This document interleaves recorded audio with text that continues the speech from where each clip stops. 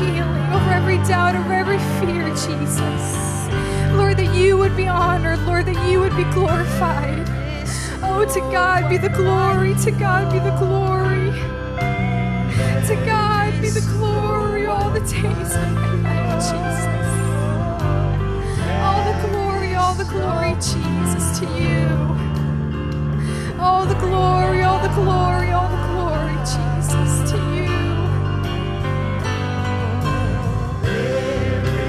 know.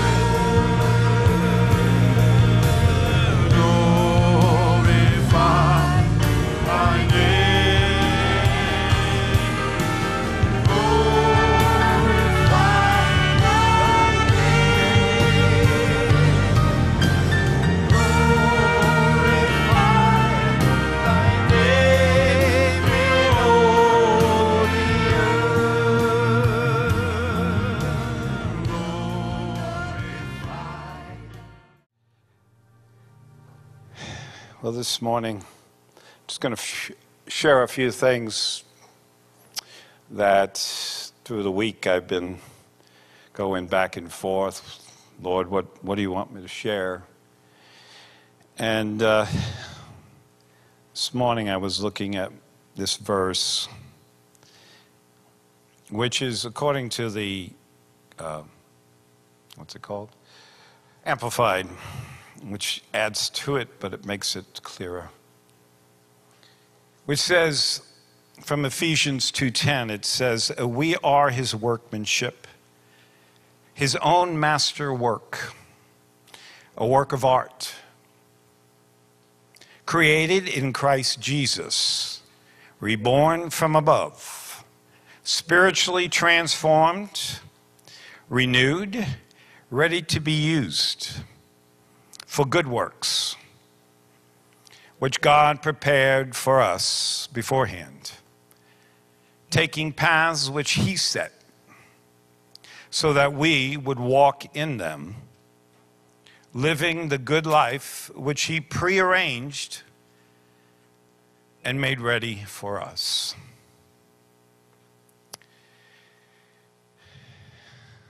Well, that, just felt to read that to show, show us that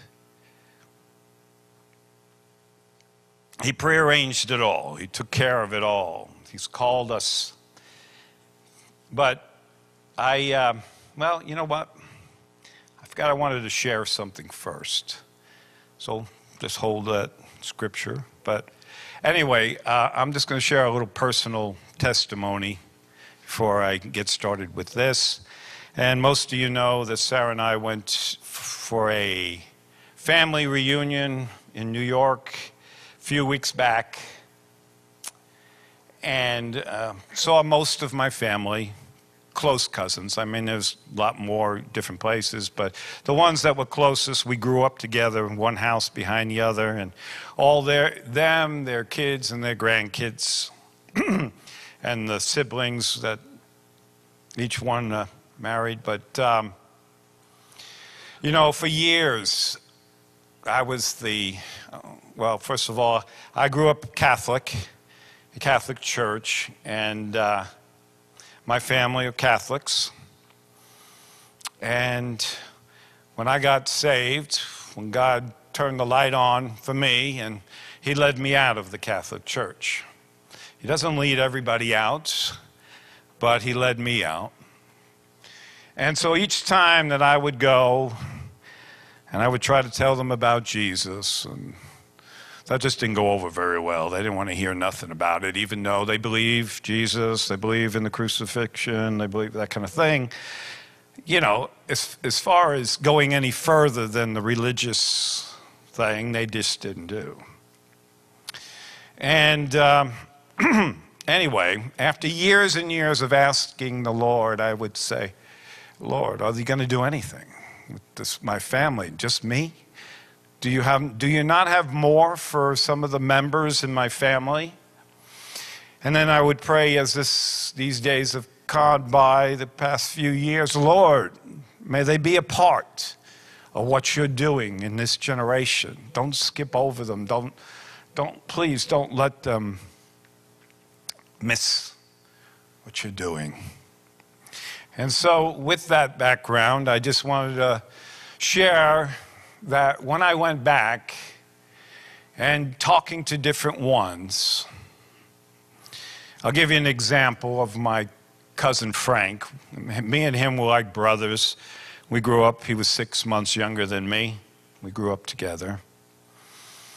And his wife, which I always saw hope with her because she, she was in the Catholic Church, but I knew she had a personal relationship with the Lord.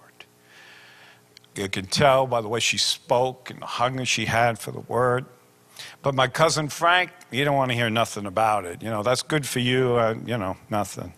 But these past few years, and I can't tell you exactly how many, God has been drawing him.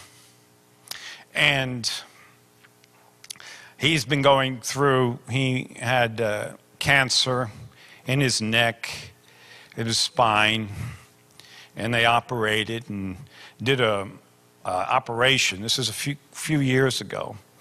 Um, 19 hours. And uh, they did this and they got it all out. They didn't give him chemo or radiation afterwards. They said it was good. He was, he was filmed, he was on TV commercials, his face was on the billboard talking about the doctor, all these things, because this was apparently some breakthrough in technology and this operation. But anyway, point is that um, recently uh, cancer has returned. And my wife did some research and found out this type, which I don't know the name of it, she knows it, but uh, is one that often comes back. And why the doctors didn't, I have no idea. But my point in all this is when I went there and I was talking to him and Marie, which is his wife, they started going to a uh, uh, charismatic, non denominational church. They were baptized like three, four weeks ago.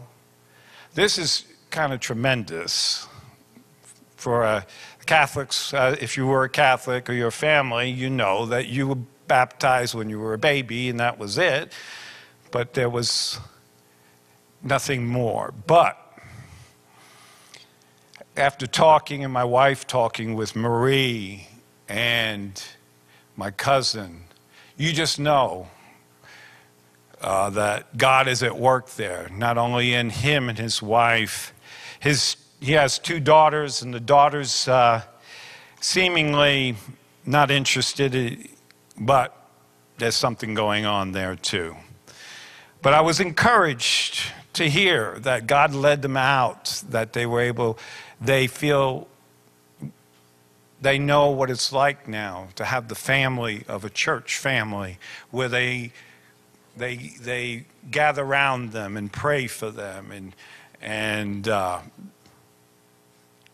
I guess all I wanted to say about it is I see God there doing something in them which will also do something in their children and grandchildren because whatever God does in the family, it's not going to go without. But then, my nephew, which is my older sister's oldest son, he has a son named Daniel who's 16, who was born mostly deaf, but he would hear, he had a hearing aid which helped him to hear. Well, recently he found out that he's going blind also, which um, you know was devastating to the family. But what I saw was that my nephew's wife, her brother is a Christian, born again Christian, and had invited my nephew, my my grandnephew to church, and he started going to church there. He reads his Bible now one hour a day. Each day, he's going to be baptized like this week or next week. And his father started going to church with him, which is my nephew. And he likes it. Now, this is a big deal in my family you know, because um, before nothing. But the attitude of this young man, 16, he wants to be a preacher. Now, has God called him to? I don't know. But he wants to be. And he said to me that he wants to make that decision, you know, that it's his decision to be baptized. And so, seeing that and seeing the effect it's having on his dad, which the mother came up to me, which I really don't know Lisa very well, but she took my hand and she said, Daniel's going to be baptized. She was so excited. And these people are not religious. I mean, yes, they're Catholic, but they're not religious Catholics. And I could just see that what God is doing. after all these years, that God is moving upon my family, which will affect my sister, her husband, who was very anti in the past. There is, I see his, God's hand all over these, this family, where before I didn't. So, the point in bringing that up is that, that don't give up on your prayers that God is faithful and He has a timing for all things. When we think, ah, there's no use, they ain't going to come, they, you know, they don't want God. No, God knows what to do. He knows how to get to each one. And God works in families. And if they're savable, God's going to save them. God knows the heart. And He works on each one and I see, I even had my, my niece's uh, boyfriend, which they, um, they have two children, and he came up to me and he, uh, which he really doesn't talk to anybody unless he's had a few drinks. And uh, he kind of, he came up to me and he said, I see that you have a, a beer in your hand, so you're not against drinking? And I said, Well, I only drink one or two. I don't drink whatever. But as he's talking to me, he's asking me these questions, and I'm seeing this man is hungry. He's wanting, he's reaching. I sense that he's reached, he wants out of his prison. So, this is the sense I got at this trip is that God is working. God is faithful. Though you may not see it with your naked eye at first, but continue to pray, continue to believe, don't give up those prayers that you have for your loved ones, friends, that our God is, his ways are not our ways, and he is faithful to do that which he has promised. And so I just wanted to share that testimony. Um, it was a good time to see most of my family. There was just one cousin uh, that wasn't there. But uh, anyway, with that, I will switch to what I was going to share, which was I was reading Psalm, Psalm, what was it? oh gosh, I'm drawing a blank now, and I didn't write it down. Give me a second, I'll just get it for you. Psalm 77 and 78, which 78 is very long, and I'm not going to read the whole thing. But I was reading this, and when I was reading it during the week, uh, I read it, and I just sensed the Lord trying to talk to me about it. And it begins, he says, I cried out to God for help, and I cried out to God to hear me. And when I was in distress, I sought the Lord. At night, I stretched out untiring hands, and my soul refused to be comforted. I remembered you, O God, and I groaned and I mused, and the spirit grew faint. When he goes on, he's crying out to God. But then God tells him to remember what God has done in the past.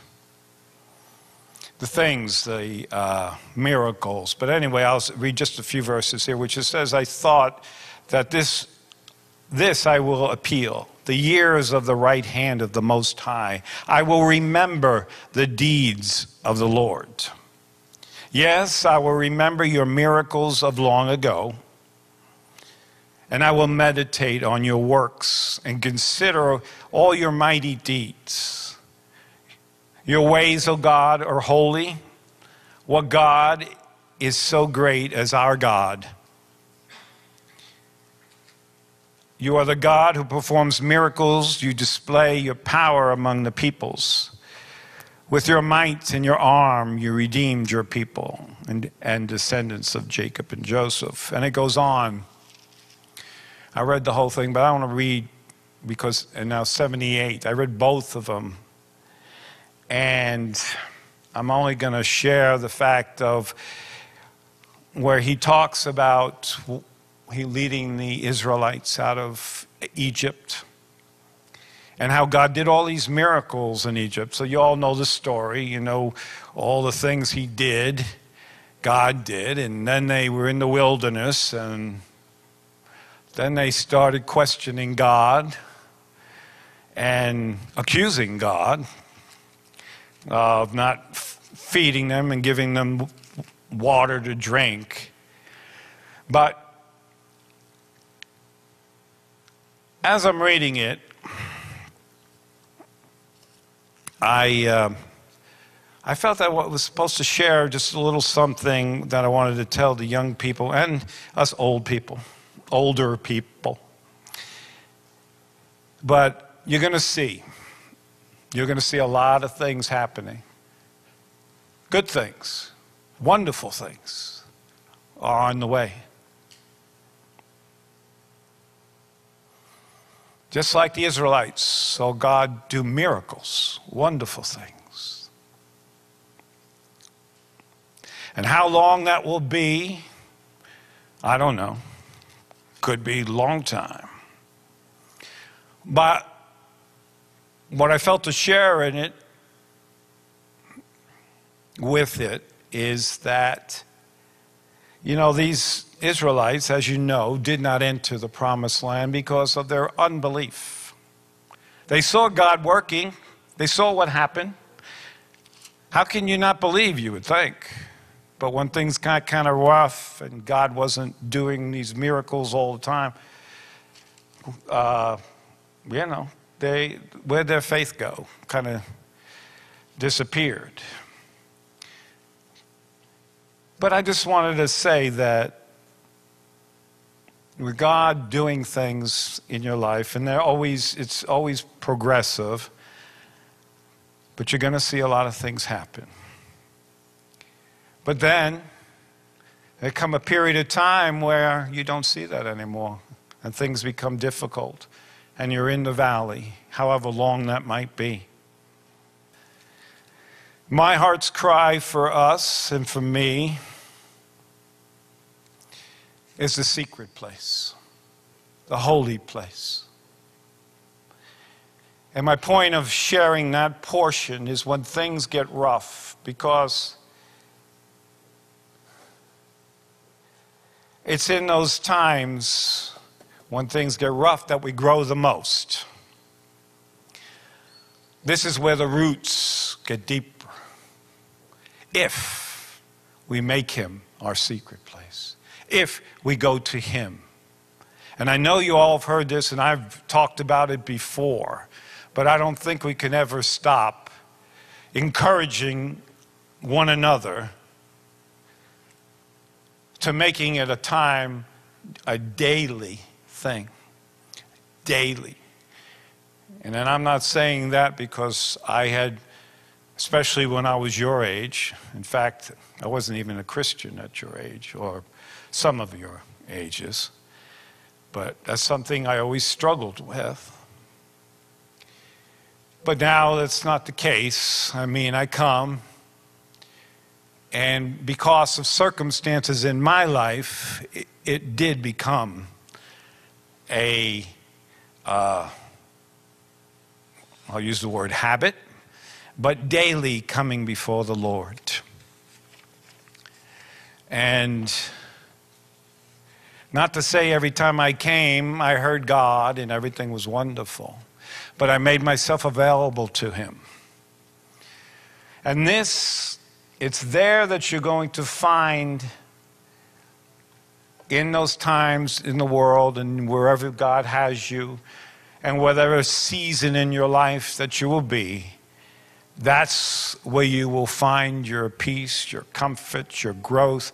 This is where, you, out of your relationship with Him, is where ministry will come. It's not in all the getting involved in doing this and that. God may have called you to be a preacher. He might have called you to be a teacher. He might have called you to be a, uh, a sanitation worker. It's really not about that. But it's in your relationship. And when you have a relationship, that's when God is able to share his heart with you. That's where he changes you. That's where he cleanses you. That's where he speaks to you and say, "Hey, we need to clean this up. This is where you need to come to me and I will I will bring a change and it's in his presence that we are changed. So whether we're in church, but most of the work is done in your personal prayer life where nobody sees. Nobody sees what you're doing. It's there. That is where it all counts. If you don't develop that, first of all, you're not going to make it in this in the in the coming days as far as remaining with the Lord. Because that's where he will speak truth, where everyone else, everything out there is a lie. Everything we're hearing is it affects us all when we hear these things and what are say. And you repeat a lie long enough, people start to believe it. So whether you say, no, that won't happen to me, but this is this is his word. And he can only, how often do I read and it's just words? But then suddenly, then suddenly God will speak maybe just a few words out of that chapter. And when it becomes real, not just here, not in your head. I know a lot of people, or not a lot, some people, they're very smart. They can they know the word upside down and in and out, and they can argue the point. And you got me because I don't know that much. But when you, when the word, when he takes that word and makes it alive in your heart, that's yours forever, and nobody can take that from you. And so, I just want to encourage and I know it's a battle, especially with the, with the, the li- lifestyle we all have nowadays, that everybody's busy. Everybody's got a million things to do, involvement here, this, that, all sorts of stuff. But that should be your number one priority. That should be my number one priority. And that can be a battle in the start. But as you continue, and maybe you're all there already. I don't know. But I felt this is what I should share because this is, this is, this is it. With everything you're going to get, it's not going to be what somebody taught you. It's not going to be what the preacher told you. Unless God can use a preacher and speak his words, and that can come alive to you, and it, it could be the Lord through him, but it's not the whole thing. He can use people, he chooses to use people but that relationship where He's your God and He changes you from glory to glory. And you're never going to be perfect here, for sure. None of us will be until we reach the other side. But God wants vessels, vessels that He can use and all it takes is willingness. You don't have to be smart. You don't have to have many talents. If God wants you to have a talent, He's going to, you can ask for them. God gives them for you. You're to use them for the body of Christ. And uh,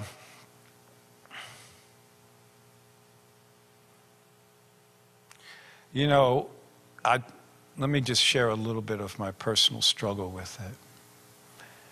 As a young adult, I mean, I was Christian a few years, quite a few years, and I was here. I was a young man when I came here. But my sin would nullify, or the enemy would use to nullify, to cause me to stop pursuing the Lord because as I said, it's no use. I'm, no, I'm not good enough. I can't walk the walk. I can't do what it takes.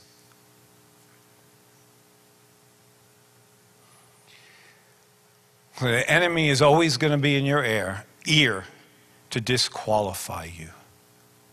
But then, during those days where I sought the Lord, this is where the blood became real to me. Yes, I heard it. I knew about the blood. Yes, he shed his blood. But the fact is, it wasn't about me and my sin. And that, yes, I'm this. Yes, I've done that. Yes, I, I would be disqualified if it wasn't for the blood. And when God made that real to me, the enemy could not take that away from me. So when he would come and say, Oh, see what you did? You're not worthy. You're not able. But it was only through the pursuit of Him. And that was many times just waking up and reading the Word and doing a Bible study and trying to, trying to do it. But those, when you make an appointment with the Lord, and for me it was always early morning because I'm best in the morning. In nighttime, I'm about to die. So during the early morning, I would get up, and then the Lord, sometimes He was just there. And He would speak to me, and those words would pop off the page. And I'm not trying to say I'm a great student of the Word. No, by no means. That's still, I'm not. I'm not. Uh, I, I went to Bible school, but I took all the inspirational classes. When it came to how to search the scriptures, I didn't take those. I took the things, the poetical books, and the uh, person that led these uh, classes were anointed, and God would just be there when, the, anyway. But my point is that uh, it's in those times alone with Him, with nobody else around. That's where you develop that, where you come to know Him more and more and more. And of course, we can never stop knowing Him. There's so much available to us. And the, the more I go on, the more I realize that God wants me to know Him more. That He's got so much more for me. If I'm still here alive, God has a purpose and that He wants to reveal Himself more. And then my fight with my flesh and the, uh, the struggle that I have with it. You know, I would see these preachers and they had it, they had this and they could do that, but not me. I wasn't, I wasn't uh, built that way. But I say all this because these past few weeks and the, young people that are part here for the past couple of years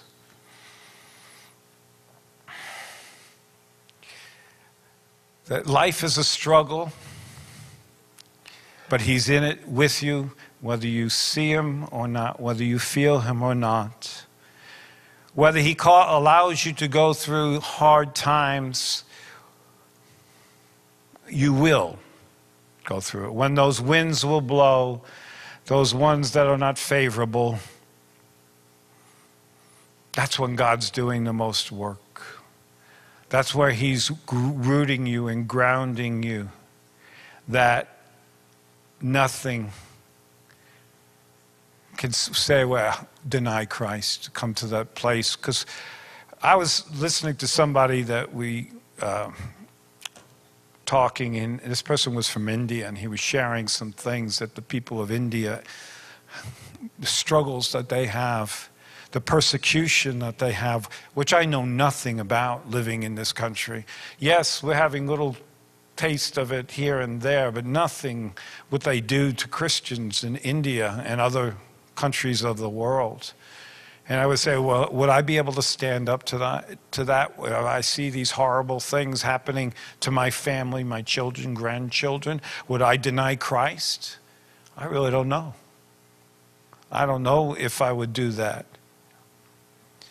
We don't know what's ahead. It might not be anything like that. I don't know the future. I, I uh, do know that we're living in unique times, but it's in that continual seeking his face, reaching, and every time you give up, you get back up and you keep going. And I've said this all before, but I'm just gonna say it again. It's in his presence. In his presence.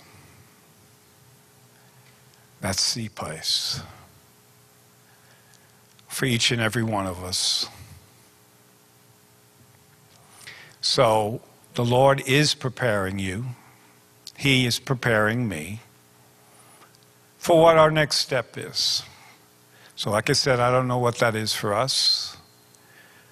I don't know what it is for you, the country you go back to. It's not to, to be feared, because when you're covered by His wings, none of that matters when you're walking with Him, He will, he will lead you and guide you and direct your path. That if things are happening, He will direct you to walk the other way, go down this street or that street. And many people have given testimony of things that happened years ago in Argentina of how they missed a bomb blowing up and all these things. But my point is, all I really wanted to say is keep on making that your priority to know Him. Whatever it is that you have to do to seek His face, to take the time daily. And if you find you can't do it daily, well, start, make it every other day. Whatever it is, but always be struggling, keep to to get to where it's every single day. If you can do that, but I know my flesh in those days would struggle against it because I was working, had kids, and all this stuff. But somehow, God answered, somehow God answered my prayer because I wanted that. He put it in my heart to want that because He knew what I needed. He wanted to make Himself known. So, in your youth, you have a lot of strength. In my age, you're getting weaker and weaker. But what I find, I'm finding a little bit at a time that as I become weaker, he shows himself strong. Because I can't do anything. You know, just getting up here and trying to share something is a struggle for me. Not something I wanted to do. I didn't ask for this, but I believe God wanted me to do it. He worked on me in Bible school to get over my fears in front of people. And so, even in this, whether I look at it and say, You really didn't say what you wanted to say, you really messed that up. Or it could have been this, or it could have been that.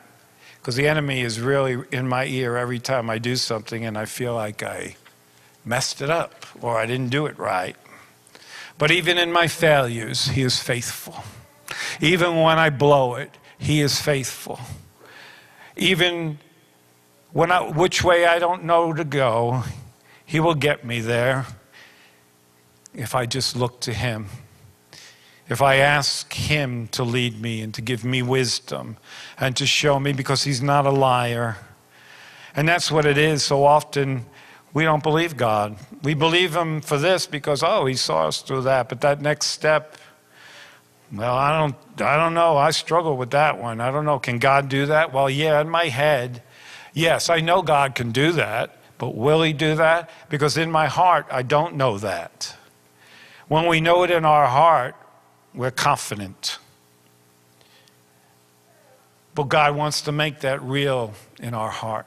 Every word out of his mouth is truth.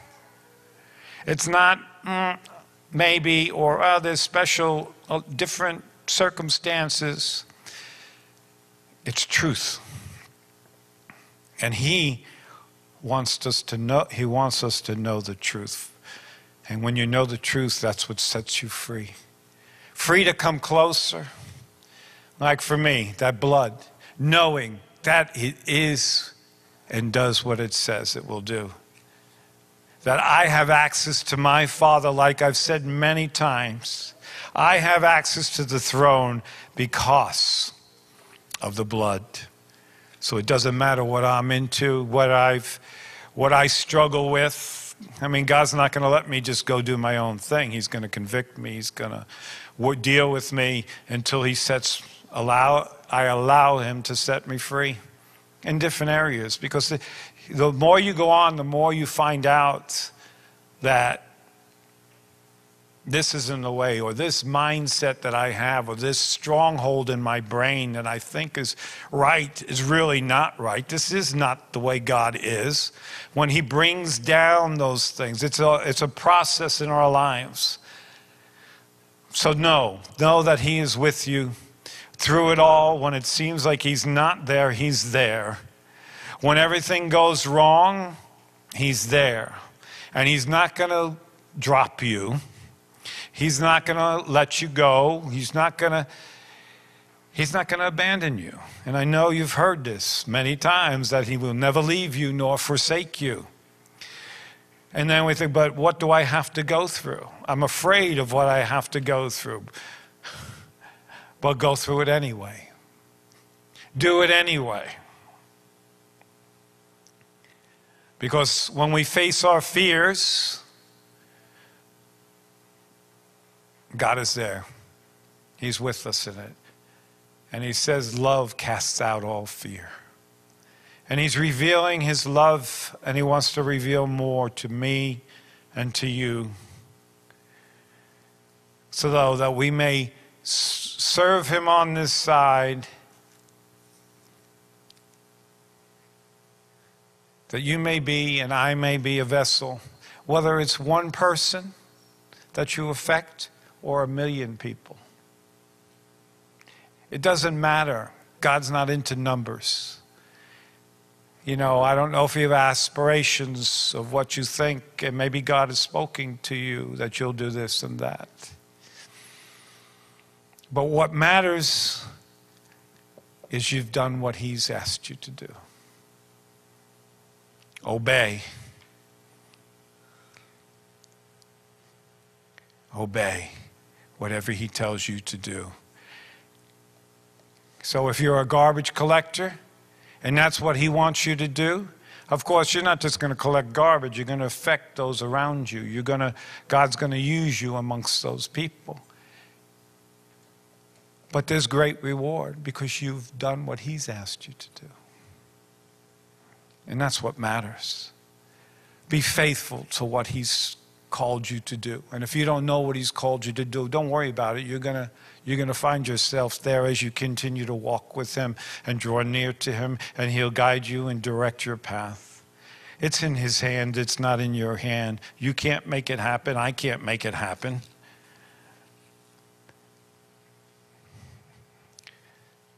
So basically, that's all I, I, I wanted to say, is to continue to encourage each one of us I need to encourage myself often about seeking the Lord. You know, because sometimes you cut it short because you're you got this to do, you got to go to work, you got to do this. But spend that time.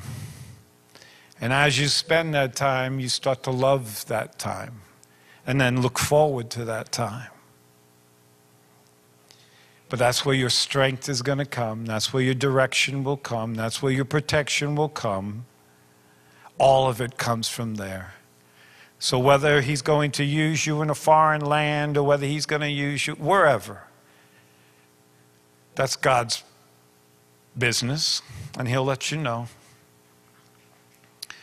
So, I just want to pray before we go. I want to thank the Lord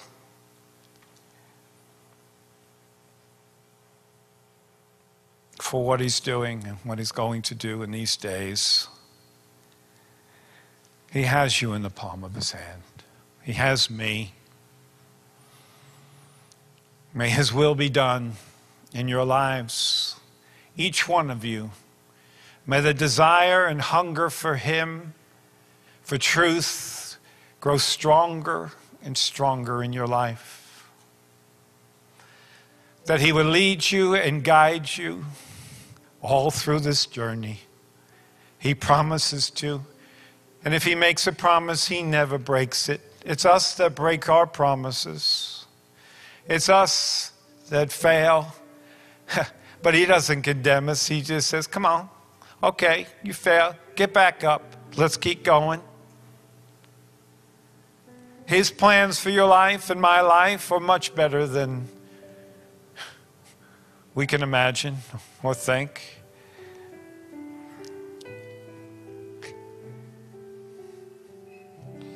So know that you can't go wrong with surrendering your life to Him.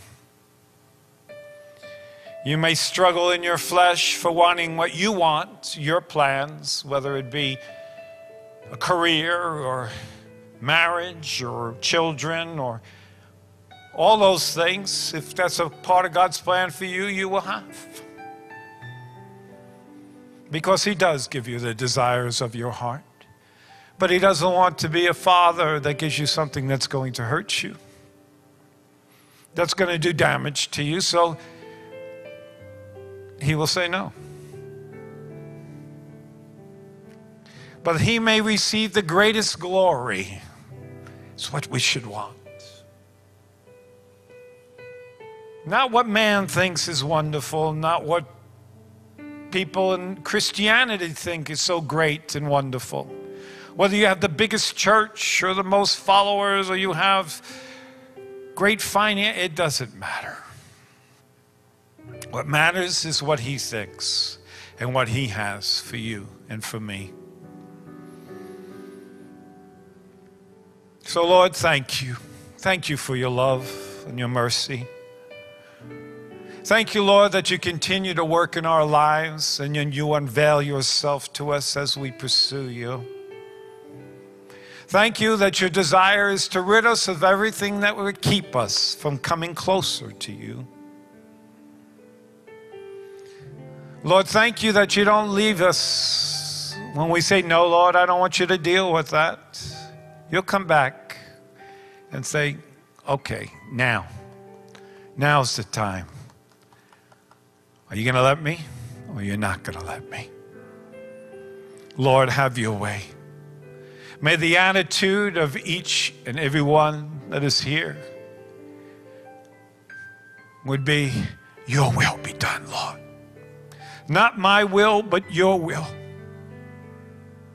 I want to please you, Lord. I don't want to please myself. I don't want to please others. I don't want to be a man pleaser. I want to be one that pleases you. Whether I have to make a fool out of myself or not, it's not about me. If you ask me to do something, I want to be willing to say, okay, I'll do it. You're going to look like a jerk, but that doesn't matter because uh, it's not about you, Richard. Lord, I want to have a heart that loves you with all my heart and all my soul. I want to be one that walks with you all the rest of my days. I want you to say, Come in, come in. Welcome, faithful servant. May we all be faithful to our call. Thank you, Lord, that you work in us to will and to do your good pleasure. Bless each one as they go. And as a tomorrow comes, and they go about their business, whether traveling or whether in working or in school, busy at home. Speak to their hearts, woo their hearts. When they listen to you whispering in their ears, come aside, spend some time with me. I want to share with you. I want to tell you something. I want to show you myself. May we answer it more and more. May we shut out those other voices that scream in our ears May we hear your voice and respond to it. Thank you, Lord. For your gracious, merciful, and you continue to work. Even when it don't seem like you are, you are. So go with the Lord. Seek his face. Lord bless you, keep you. May his face shine upon you.